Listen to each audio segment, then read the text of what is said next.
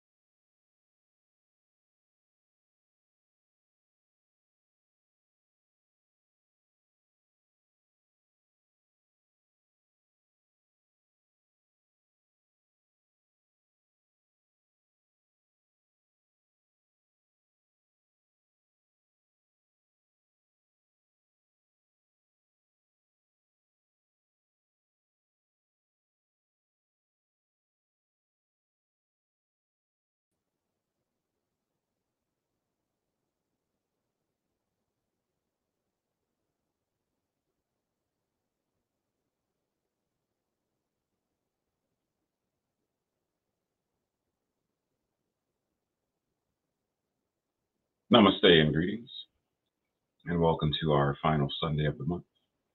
And today we are discussing the idea, the theme, the truth about wholeness and disability. According to the science of mind and spirit, every person is an individualization of the one spirit, regardless of physical or mental abilities. Wholeness is not determined by any physical conditions, but by recognizing the inherent spiritual essence within each individual. Disabilities and differences are understood as unique expressions of the one spirit, and physical or mental conditions do not limit a person's worth or spiritual potential. Embracing this perspective fosters true inclusivity and belonging, values the contributions of every individual, and challenges societal norms and the status quo. We are called to dismantle barriers, liberation theology, dismantle barriers and create spaces of love acceptance, genuine inclusivity, belonging in all of our spiritual centers and beyond. Breathe. Your body is entitled to your respect. Period. Your body is entitled to your respect. Do you respect your body?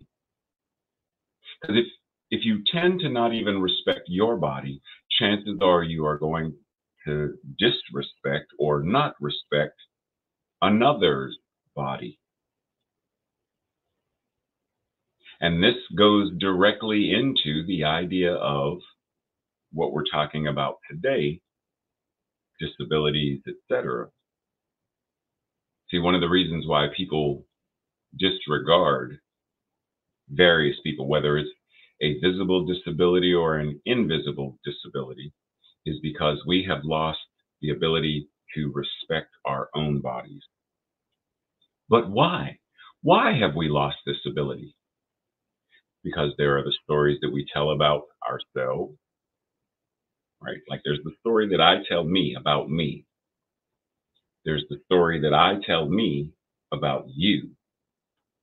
And there are the stories that I have been told by someone about myself and about you. And based upon these stories, we create barriers and blockages. We deny diversity, equity, and inclusion because of these stories that we have become so dependent upon. Now, some disabilities are visible. You can recognize them, right? There's something that we can say, oh, there's a wheelchair. Oh, there's a walker. Oh, like there are certain, we, we are more readily able to identify. But then there are many disabilities that are invisible disabilities that you can't see. You can't readily see deafness. Even if a person has a hearing aid, it's not a guarantee that they're deaf. Now you may say, well, they're hard of hearing. Yes. And yet, not all deaf people wear or have hearing aids. And just because you see someone signing doesn't mean they're deaf autism. You don't see it, right? So keep that in mind. But also keep in mind this term disabilities depends on where you are. Some do not like the term disabled and they say, refer to me as differently able. And there are others who say, do not call me challenged or handicapped or handy capable or blah, blah, blah. I am disabled. For me, it's a matter of what do you want to be called? And we could say the same thing about the LGBTQ community. Do you prefer to be called gay or queer? Do you prefer non binary, gender fluid? Gen- the terms and words matter. So rather than just assume, when you meet people, listen. How do they refer to themselves? And even there, like there's this fine line between, oh, they're referring to themselves as disabled or even differently abled, but they're doing so from a non-life affirming way. It's not my job or your job to force them to change. Meet them where they are, respect them where they are, build relationship, and then we evolve together. Khang Kijarro Nguyen says, abled does not mean enabled. Disabled does not mean less abled. Breathe that in. Because oftentimes we assume that, oh, well, they're an able bodied person, they can do X, Y, and Z. They're disabled, so they can't do X, Y, and Z. I was recently watching something that's escaping me right now where one of the people who spoke they testified at something referencing this idea of disabilities and the person was they used to be a mountain climber and something happened and they lost their legs and they oh i know what i was watching a special about Oscar Oscar Pistorius in South Africa. It was a documentary, and someone was testifying about how prosthetics don't give the person an added extra skill boost. And like I said, there was this mountain climber who had prosthetics and was climbing mountains and there were those able bodied people who were accusing him, well, of course you're going to climb better now. You have prosthetics. So you think the prosthetics make me the bionic man or something like that? It's easy for us to feel like it's the same thing that happens within uh, trans, specifically transgender women in sports and people will say, well, of course, the transgender woman is going to be better at swimming or track or whatever because they're a man. Well, if that's the case, then your same argument when it's a transgender man in sports, shouldn't they be losing then? Since by your logic, but there's transgender MMA fighters and boxers and track stars who are beating the cisgender men. So your own logic is flawed. Once again, we get caught up in these stories and with these stories about able bodied, ableism, disabled, we get lost in the story. But our invitation, especially we in New Thought, CSL, our vision being a world that works for all. How do we make sure that our teaching, our centers, our communities are accessible?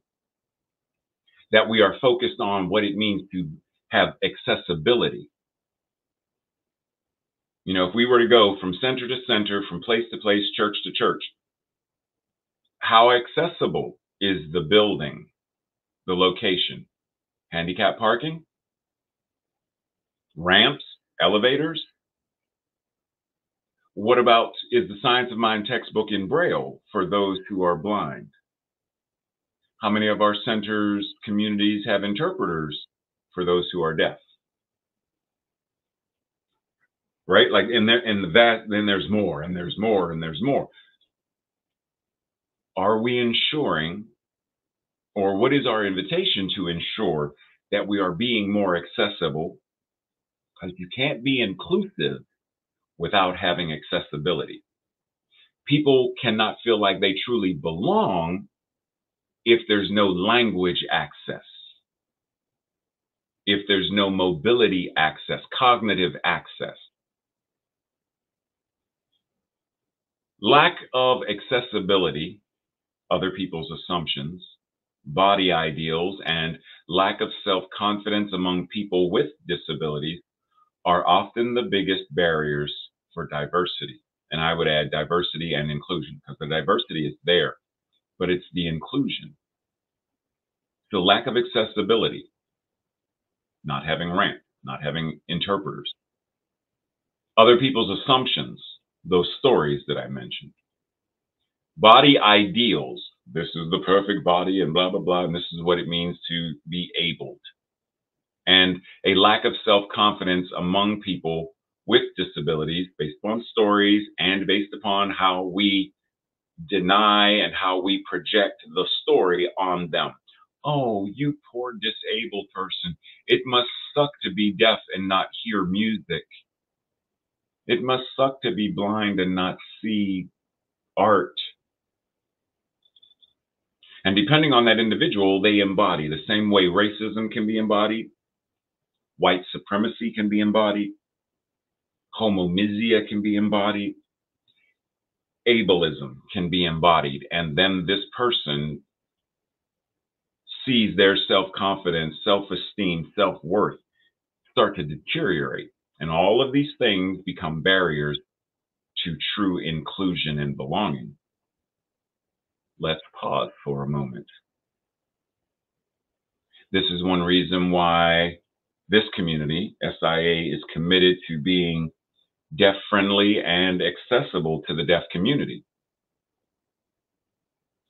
Whether you know it or not, I just want to share a little bit about what it means for there to be inclusion within the deaf community. Because it's a little bit more than just language, right? It's understanding that there is a medical view of deafness as a pathology, Deaf people are broken and they are flawed because they cannot hear. But within the culture and within the community, the cultural view of deafness is a sense of belonging and being perfect just as is. And if we're truly going to be inclusive and foster a world that works for all, then it's important to understand these two viewpoints stories and understand what it means to have a cultural perspective. Because then I understand the person and their culture, and I do not see them as being broken or flawed. It's also an understanding that there is lowercase d deaf and capital D deaf. We, they both spell the same word, though, right? Yes, they do, but they mean different things within the culture. Lowercase d they may not have attended a school for the deaf, whereas capital D, they have a very strong deaf identity. Lowercase, described based upon that pathology, the medical viewpoint. The other, culturally deaf. Lower identifies more with hearing people. The other tends to attend schools for the deaf, is deeply involved in the deaf culture, the deaf community, etc. The other generally doesn't or necessarily eh, maybe will associate within the deaf community, but not really be mm, involved. Whereas the others are members of the deaf community. They are deeply involved in the community and the culture. They are deeply involved in the promoting of and nurturing of the language and the people, etc. Now, this community is deeply, now we work with both of these, wherever the meet people where they are. But it's important to know that we, in order to include and belong, we respect and value deaf people from the cultural viewpoint. It's important for us in general to understand what the cultural aspect includes And how do we include this stuff as part of our accessibility? Back to our regularly scheduled program. You are a perfect idea in infinite mind. You are whole right now. And this wholeness is the only way the universe knows itself as you. Because it's not an anthropomorphic universe. You are already whole, perfect, and complete because of what you are, not what you can do or can't do. That person is already whole, perfect, and complete. It's not dependent upon what they can or can't do. Wholeness or oneness. Humanity is a singular entity made up of many individuals.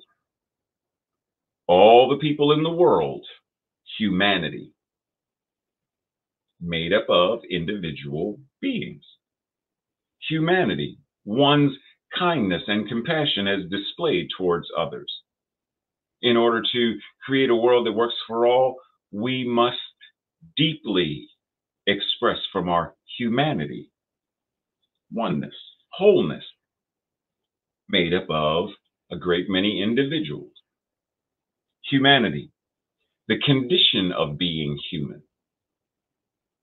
Humanity, the condition of being human wholeness and oneness as expressed in the whole oneness of the individual. This is the exact same thing as when we talk about God, oneness, etc. Humanity, wholeness made up of a plethora of individual humans,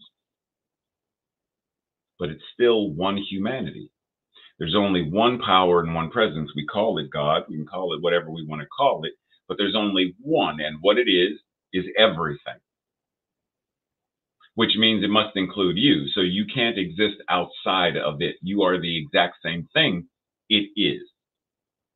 As absolute wholeness, you being what it is, you too must be an expression of absolute wholeness, no matter what you can or cannot do. Where is God? It's a blank screen. Right? Now, Voltaire said God is a circle whose circumference is nowhere and whose center is everywhere. Well, if the center, Jimmy, just looking at this, the center of the circle is that single dot. But if the circle circumference is nowhere and the center is everywhere, then that everywhere means everywhere. Right? Like mm, mm, mm, take take this in. Let's go back for a second. Take it in. Circumference nowhere, center everywhere. So where is God?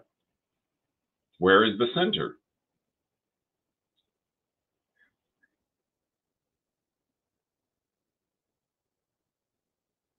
There's not a spot where God is not. So if it is everywhere, the center is everywhere, then the center must be right where you are, right where that person in a wheelchair is, right where that person who is neurodivergent is, right where has to be where everyone is. The infinite wholeness and oneness everywhere. So if I ask you, just for the sake of an experiment, or as we talked about last week, a sex experiment.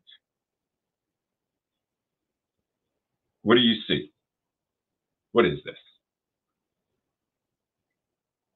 If you said apple pie, how do you know?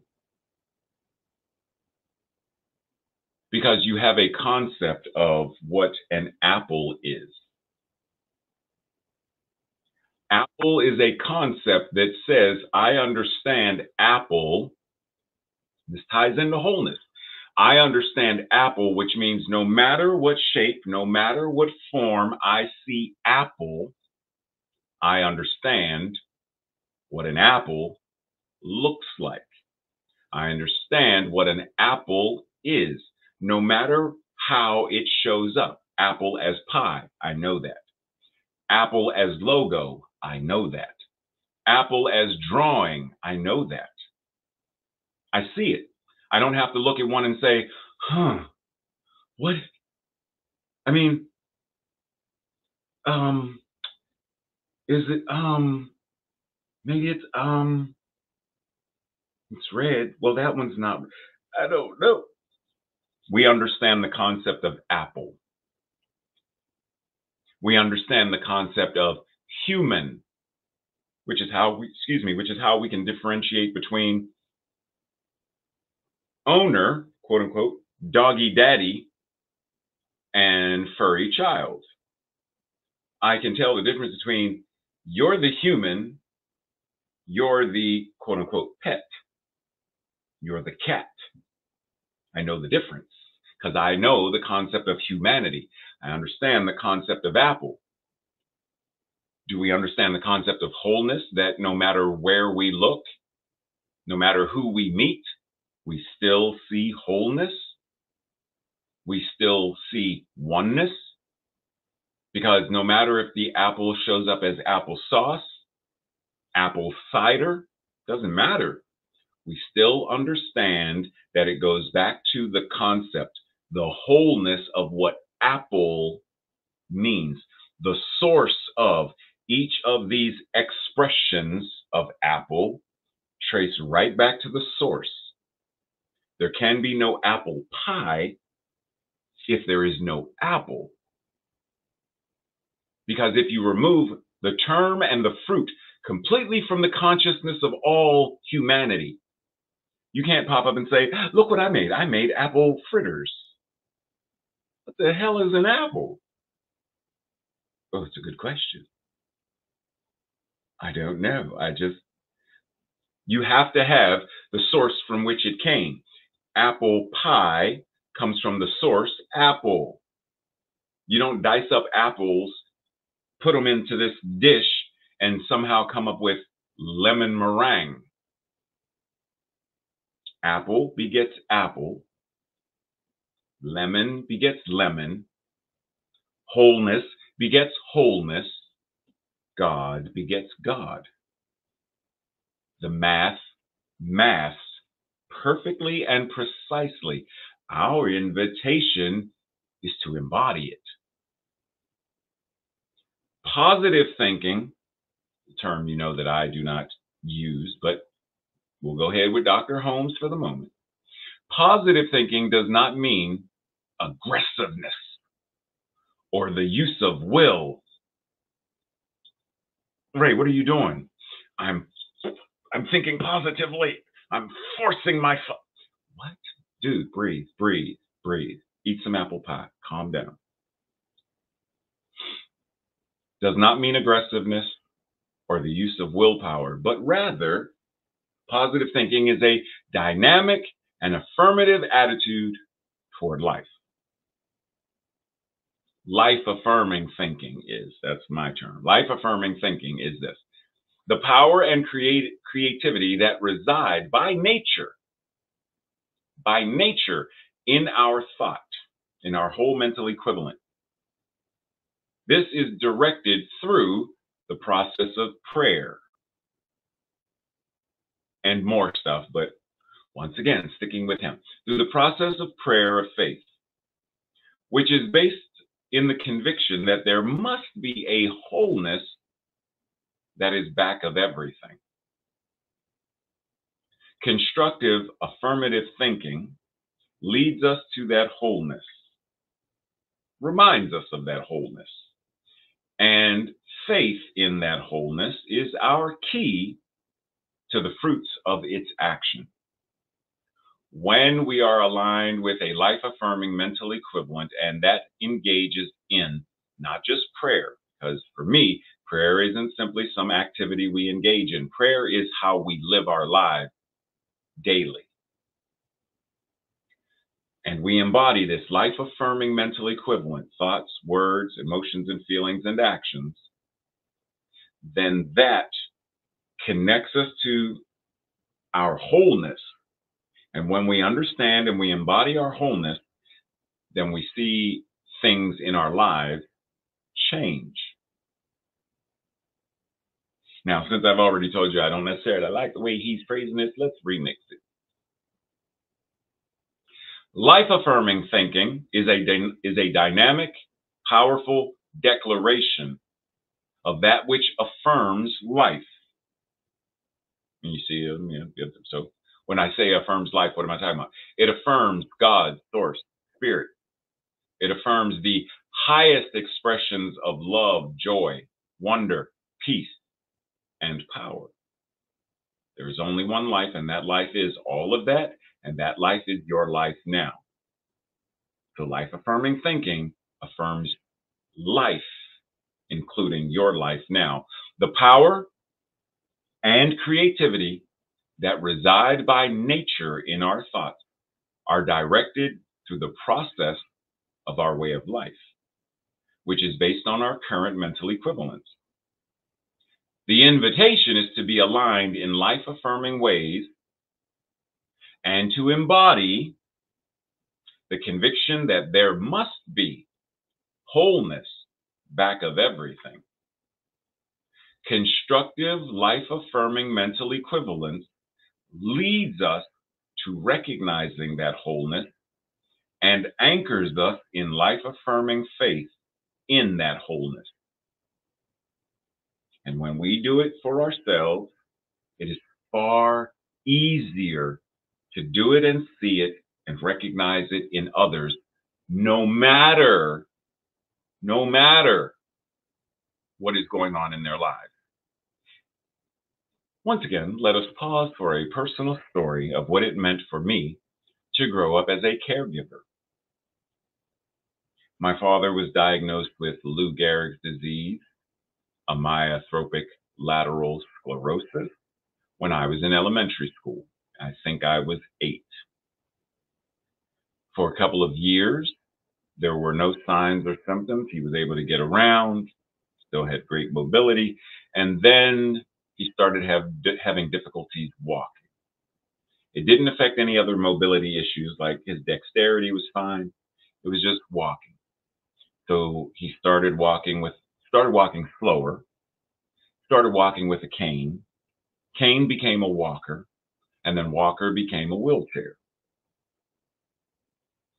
As an eight year old, I was conditioned and trained into being, in essence, my father's primary caregiver up to a certain point, because eventually I moved, and then a couple of years later is when he died and I blamed myself. Oh, the guilt.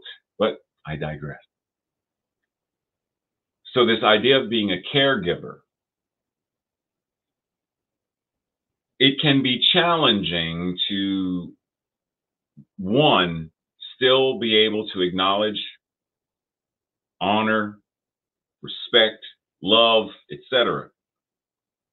Someone through each phase of what you acknowledge and recognize as a quote unquote deteriorating body, deteriorating mind, etc. Because even when my my maternal grandmother had to live with us because she ended up with dementia and Alzheimer's. So witnessing the deterioration of her mind, already being a caregiver, which at that time my father and I were helping to caregive for her, making her lunch and breakfast and dinner and making sure she was eating and stuff. Now, I mention this because it is easy for the caregiver to lose sight of not just the wholeness of the other person, but our own wholeness.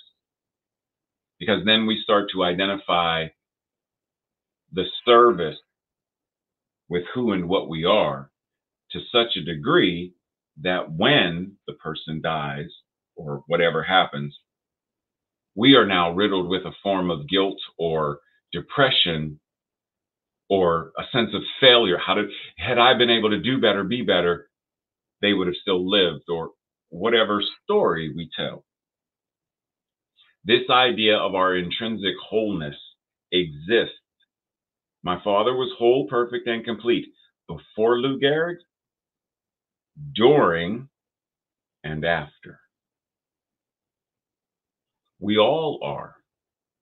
Whole, perfect, and complete before my surgery, during the surgery, immediately after, and the healing and the almost dying last June, and even now. Whole, perfect, and complete.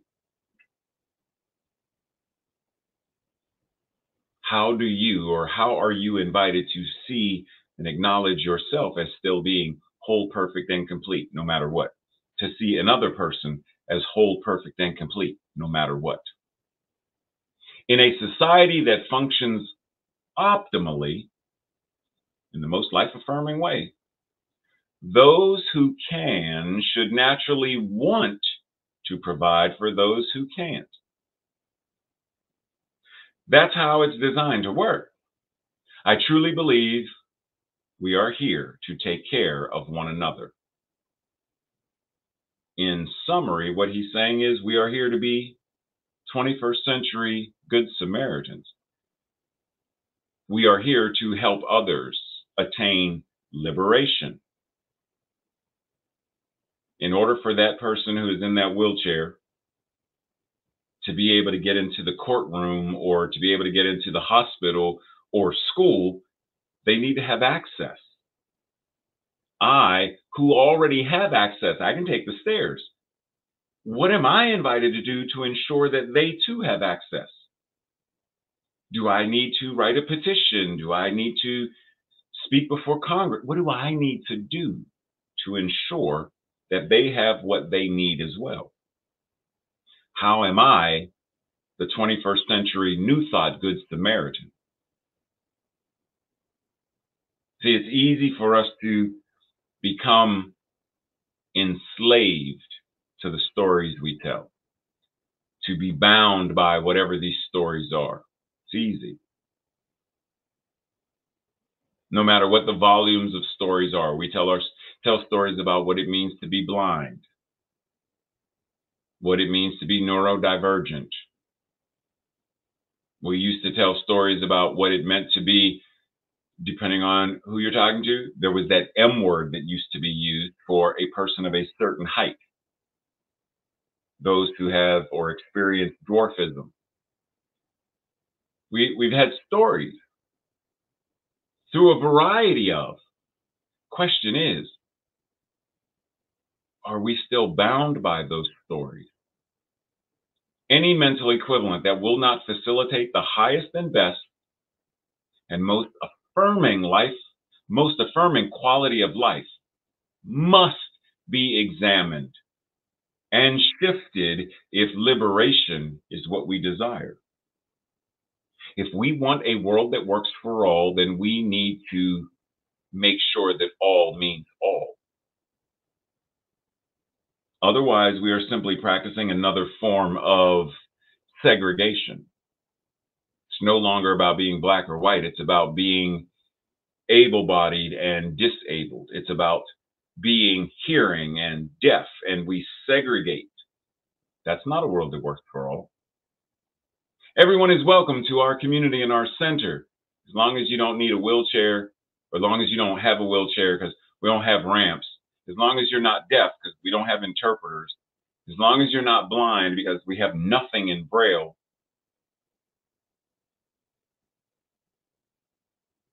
Breathe.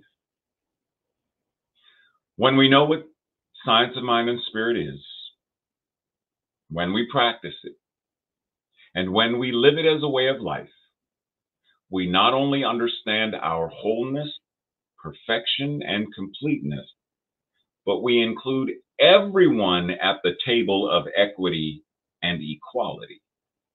No matter the person's needs or abilities, we use the creative principle to make adjustments. So physical spaces, books, curriculum, classes, conversations, boardrooms and bedrooms and beyond are accessible in all ways needed. When we say oneness and wholeness, this includes everyone. Every one of our disabled family members, friends, lovers, partners, neighbors, and even strangers that we have never met. A world that works for all means all. And before I go to the affirmation, I want to remind us last week we talked about sex.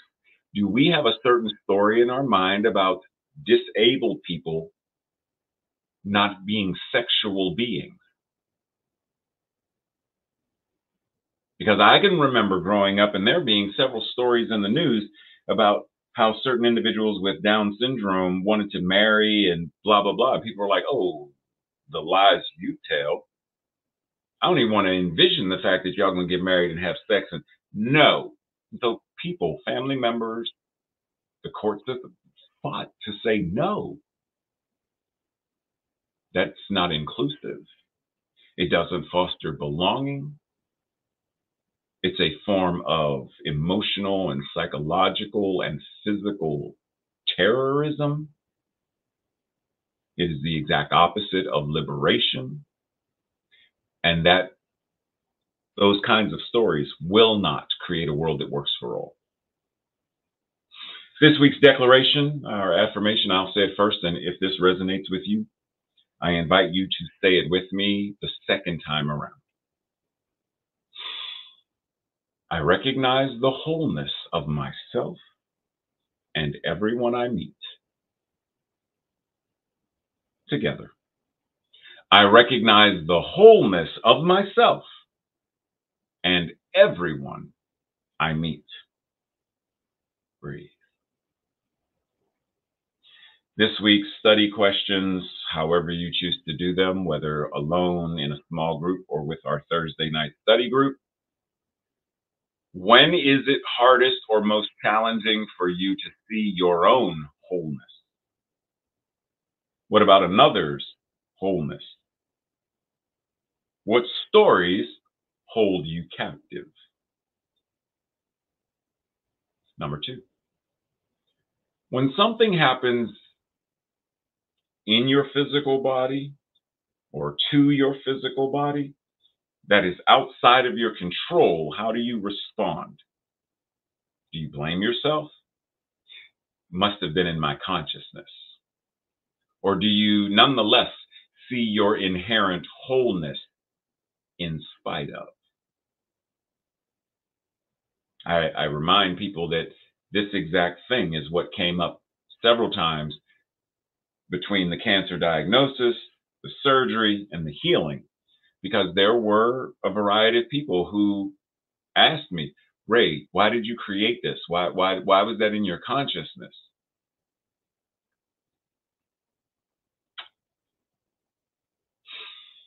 So through all of that, my invitation was to come back and say, this diagnosis, this process, this thing that my body is doing, I can't and change it. It's beyond my control per se but I can work in partnership with what I do have control with, my health team, etc., to remind myself of my wholeness, my perfection, and my completeness to move through that healing journey unto today.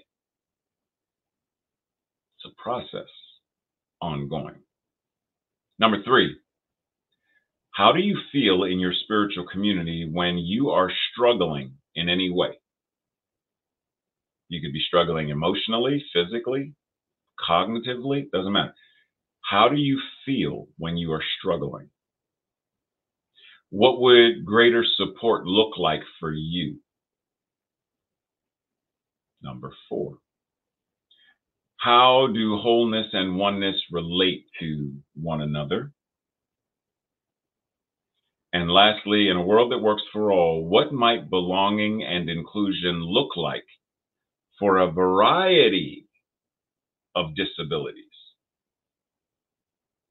What about in our spiritual communities? What would it look like for our spiritual communities, for every CSL to be open, welcoming, belonging, etc., accessible to a variety of disabilities?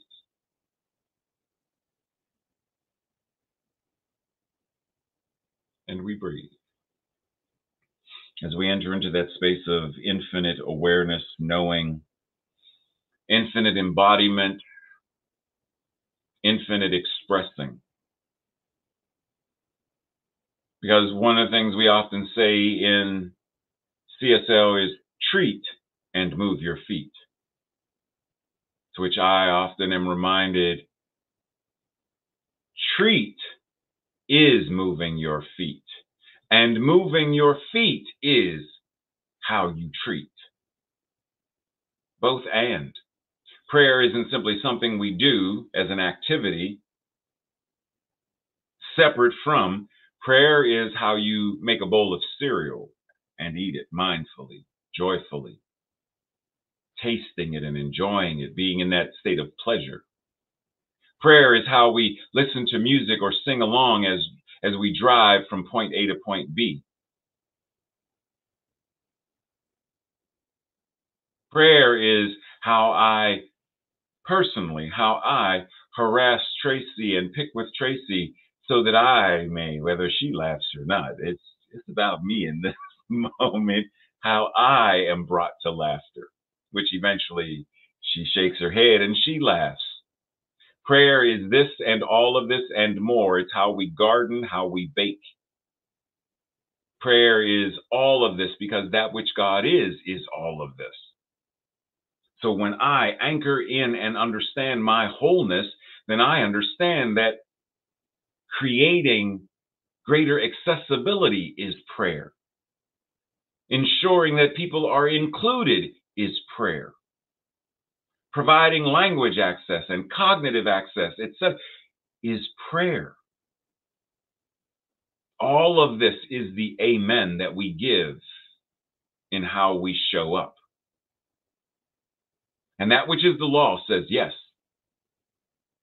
Meaning, the moment we have the idea to be more accessible and we are aligned with our mental equivalent to make it happen, the law is already moving and shifting and shaping so that when we act upon it, the resources are present, the people are present, the funds are present, the what is needed, the knowledge, the wisdom, the intelligence is present. It shows up some way, shape, or form when we are open to it, when we live it and breathe it as a way of life. So, knowing that the law is already moving, shifting, and shaping to make this community more inclusive and accessible to more and more and more, knowing that that is already in motion, then I also know that other CSLs and unities and churches and centers and communities are also doing the same, being the same. That's what it means to be a world that works for all. That's